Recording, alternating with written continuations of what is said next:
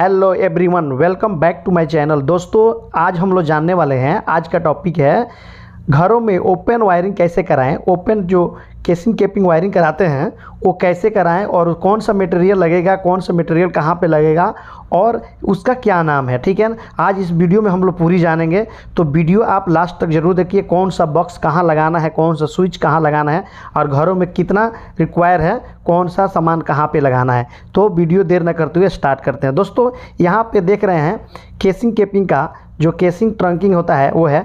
अनेकों साइज़ का आता है। यह ओपन ट्रंकिंग है। दीवारें के ऊपर लगाया जाता है, ठीक है ना? जब प्लस्तर वगैरह हो जाता है तो उसके ऊपर लगाया जाता है। ये अलग अलग साइज़ों की आती है, ठीक है? दोस्तों, यहाँ पे मैंने एक चैट दिया हूँ। इसमें आपका पूरा साइज़ है और रेट्स क्या है और एक पैकिंग में कितना पीसेस आता है।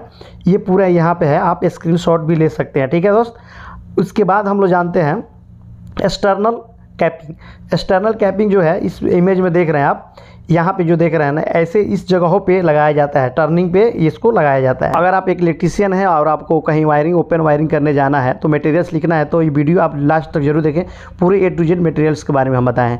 अब यहाँ पर जाते हैं एल ज्वाइंट एल ज्वाइंट वहाँ लगाया जाता है, जहाँ पर जो दो ट्रंकिंग आपस में ज्वाइंट हो यहाँ पे एल टाइप बनता हो, जो कि एक नीचे की तरफ़ आप ट्रंकिंग लेके आ रहे हैं। अब हम लोग जानेंगे T joint capping T joint कहाँ कैपिंग कहाँ पे लगाते हैं? दोस्तों, आपको बता दूँ, इस इमेज में देख रहे हैं, इस इमेज में अपना ट्रंकी का ही वो लोग टी बना दिए लेकिन नहीं, ऐसे नहीं करना है। आप प्रॉपर तरीका से मटेरियल्स यूज़ करें, आपके काम पे इफ़ेक्ट आता है, ठीक है ना? आप अच्छे काम करेंगे तो नेक्स्ट टाइम भी कोई भी देखेगा तो आपको बुलाएगा, ठीक है? तो आप बिल्कुल अच्छे से काम करें। अब हम लोग जानेंगे कपलर कैपिंग कहाँ लगाते हैं। कपलर कैपिंग वहाँ पर लगाया जाता है, जहाँ पर दो ट्रंकिंग आपस में ज्वाइंट हो स्ट्रेट ज्वाइंट हो, वहाँ पे कपलर कैपिंग लगाते हैं। ओके दोस्त, आप कहीं भी काम करें, अपना मटेरियल ज़रूर लिखें। इसमें पूरे ए टू जेड हम मटेरियल्स के नाम दिए हुए हैं। ठीक है ना? आपको सामान का नाम दिए हैं। आप ज़रूर ये वीडियो लास्ट तक देखें। फोरवे ज्वाइंट कहाँ लगाते हैं? फोरवे ज्वाइंट वहाँ होता है, जहाँ चार, जो चार ट्रंकिंग जो पाइप है, एक साथ जुटता हो, वहाँ पे लगाया जाती है कि इस इमेज में देख रहे हैं आप। यहाँ पे अगर ये लगा दिए ना तो वे अच्छा बनेगा, रास्ता अच्छा उसका बनेगा। और यहाँ पे इंटरनल कैपिंग कहाँ लगाते हैं? दोस्तों, आपको बता दूँ, बहुत सारे हैं कि हाथों से बना लेते हैं, लेकिन वो सही नहीं रहता है।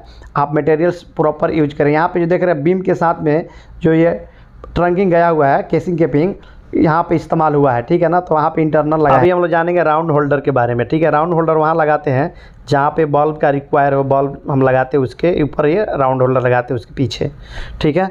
और फ्लैट बटर क्लिप ये जो है यहाँ पे देख रहे हैं ना फ्लैट बटर क्लिप है ये जो केसिंग केपिंग जो पट्टी है उसको हम लोग होल्ड करने के लिए लगाते हैं ठीक है ना? ठोकते हैं। और प्लास्टिक फिक्सर प्लास्टिक फिक्सर वहाँ लगाते हैं जहाँ पे बॉक्स लगानी है पीवीसी पाइप लगानी है, बॉक्स लगानी है, जो भी है ना तो ये ड्रिल मारकर और इसको फिट किया जाता है। ये हर एक अलग अलग साइज़ों का आता है, ठीक है?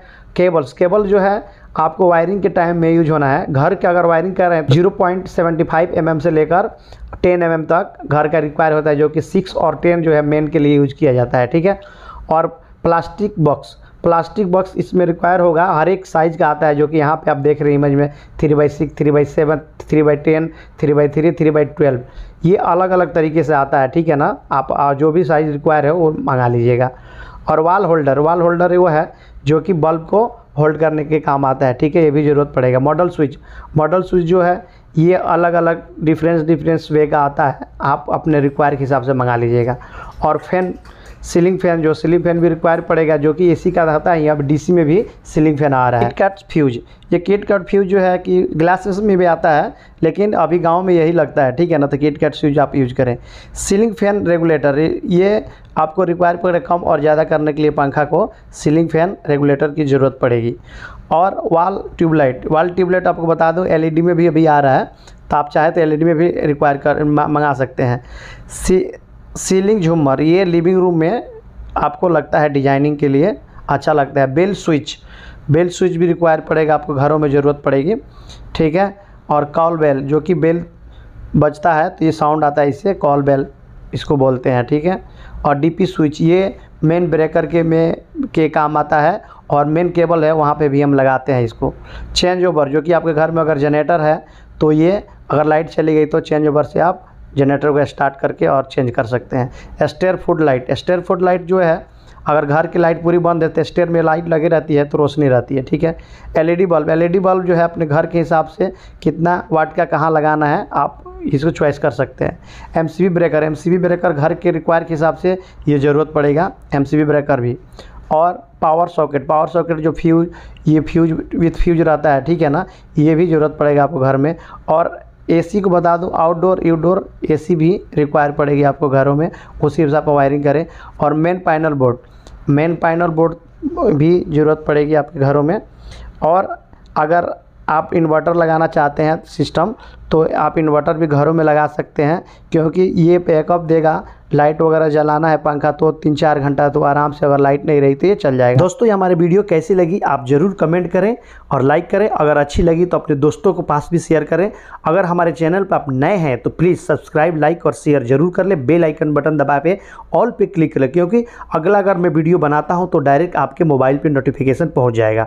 ओके दोस्त, और आपको बता दूँ, इन्वर्टर से रिलेटेड मैं एक वीडियो बनाया हूँ। आप वीडियो जाकर ज़रूर देखें। इन्वर्टर का कनेक्शन कैसे किया जाता है, उस वीडियो में पूरी बताया हूँ।